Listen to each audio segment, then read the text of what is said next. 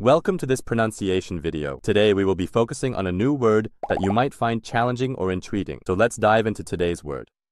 작전이야, which means Operation in Korean. let's say it all together. 작전이야. 작전이야. 작전이야. One more time. 작전이야. 작전이야. 작전이야.